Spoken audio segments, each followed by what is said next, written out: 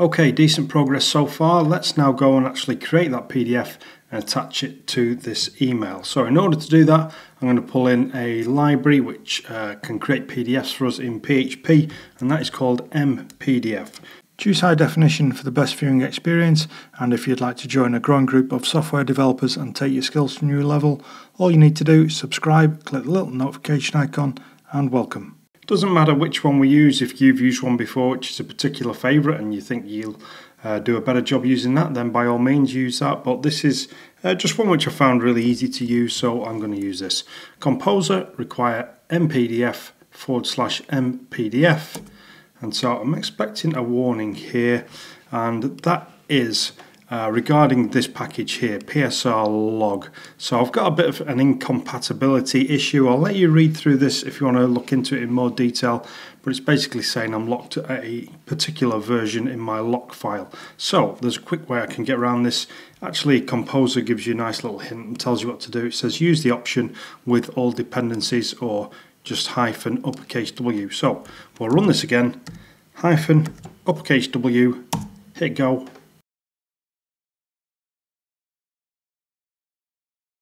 One of the things I really like about this is I can just create some HTML and it will convert that and write it to a PDF. The first thing I'm going to need to do is create an instance of the MPDF class. So MPDF equals new MPDF and then I'll start to create some content to go in this file.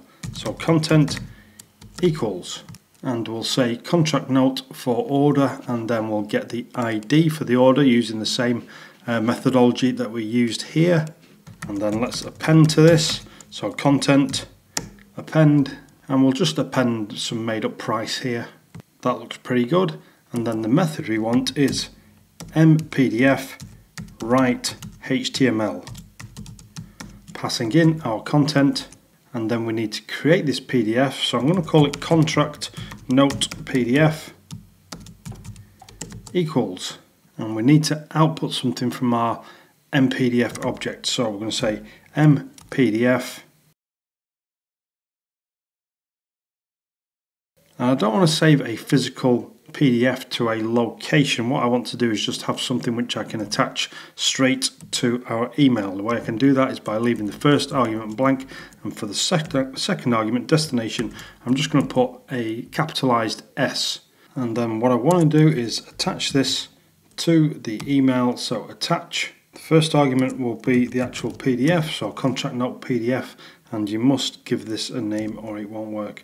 And so we shall call this contract hyphen note dot PDF. Okay, and so now I can go and test this out. So on this buy page, I shall refresh.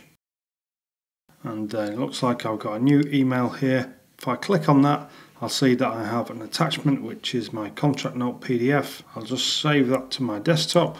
If we open this, and so we get contract note for order one and our hard coded price in there. And so with that, we've got our two tasks out of the way, which we wanted to complete before we could really uh, go and start having some fun with asynchronous. We can generate a PDF, attach it to an email and dispatch that email. Before we finish, let me just remind you about the branching strategy that I'm using for this. Uh, if you wanted to contribute or if you're just wanting to pull a repo to compare your work with mine. Each video is has an accompanying branch. For this one, for example, I called it part 5 forward slash attaching PDF. So it'll always be in the format of which video it is, so in this case part 5, and then what we're actually doing in that video. So I'm trying to keep everything sort of self-contained so I'm not doing too much in one video and then it should be easy for you to follow along and just drop little bits into your code if you struggle with a particular video or whatnot let's move on.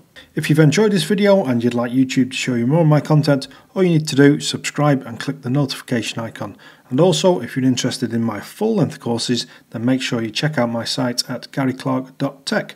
I'll leave a link on the screen and in the description.